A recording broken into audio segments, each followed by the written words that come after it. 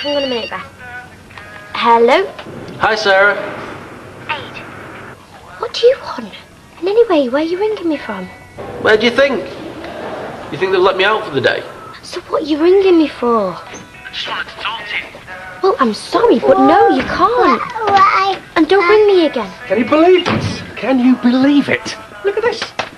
Weatherfield Gazette? Do you remember him?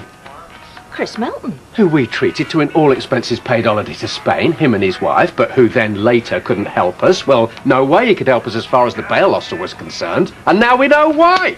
Councillor named in bribe scandal. He was in charge of the bidding process. Builders put in their estimates, Chris Melton sees them, and then for a fee advises certain favoured builders whether to put their bids up or down.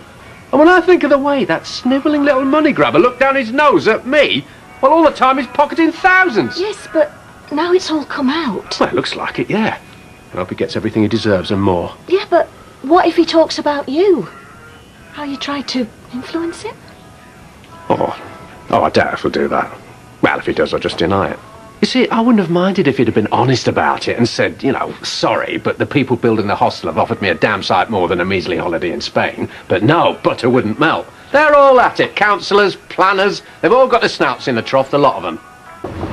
There's something that um, I have to tell you. I wasn't going to, but, well, I think I should. What?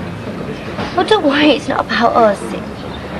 I got a phone call this morning from Ade. They've let him out? No, they have phones in there. Oh. So what did he want? Just to talk. Don't worry, I said no, I didn't want to talk to him. Well, I I hope you didn't. And I hope you won't. I said I didn't. Okay, fine. Just hang on. Um, Candice wants to come round tonight. Don't bother me. I'm not against you seeing all your friends. Ade isn't a friend. Yeah, sure, we're only hanging around. I don't know. Gail! Where's your mum? She's in the kitchen. What's the matter? You won't believe this. You will not believe it. They've cancelled the bail hostel. Uh, Because of all this business in the paper. I've just been talking to Curly. But that means... It means that we're high and dry. We're in the clear. We can sell the flats for full price. We can pay off the bank, everything. Oh, that's wonderful. This is the beginning of the rest of our lives.